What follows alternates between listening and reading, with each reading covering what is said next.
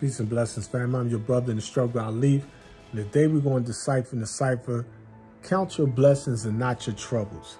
I mean, growing up in the belly of the beast, I remember in the prison system, they used to call yard out. And we were student followers of the Most Honorable Elijah Muhammad's teaching, so we believe that the messenger's message will guide us through the age of mess. So even though we is hell, we was still in heaven. I mean, so it was genuine smiles and genuine peace of mind and contentment and money and good homes and friendships and all walks of life, even in the belly of the beast, because we were soldiering. I mean, we was putting the flag up, you know I mean? The flag of Islam, freedom, justice, and equality, you know what I mean? And we feared no man, no thing. We didn't fear the administration, you know I mean? We wasn't ego tripping or nothing like that. We didn't think we we're tough guys and none of that. It's just that, you know I mean, we respect all people, the man respects all people. You know what I mean? And um, if you start something with us in 30 years, 100% of the time, you lose 100% of the time. Because Allah is with the righteous. And righteousness exalts a nation. But one of the things I definitely remember is how you know, you go to the yard, you could go on the basketball court, the weight pile, whatever. You know what I mean?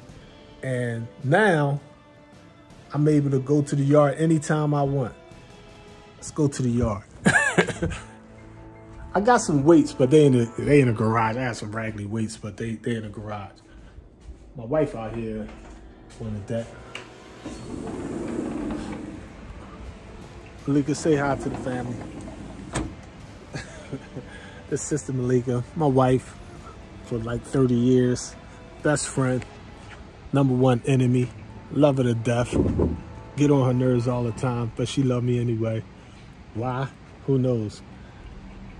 Oh yeah, let me show you. This is the tomatoes that I planted from a seed. These yellow flowers, each of them gonna be, these, these is the little flowers that my wife planted, of course. Take y'all down to the rose bush.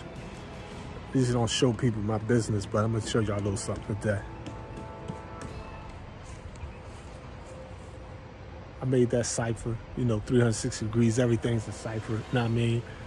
We live around the 10%. They don't know who we be, but we know the 5% is the poor righteous teachers, not believing the teachers of the 10%. Or all wise know the true living God is teach that true living God is son of man. The rose bush over there growing, flowers over there growing. Need to clean that wall. But this is the yard, bigger than the football field. I mean, peace of mind and contentment. It's a beautiful day today. Not too hot, not too cold. It's like 70 something degrees out here today. But I want y'all to count y'all blessings and not y'all troubles. Why? Because the 13th problem tells you the solution. Set yourself in heaven at once. Peace of mind and contentment. Money, good homes, and friendships in all walks of life.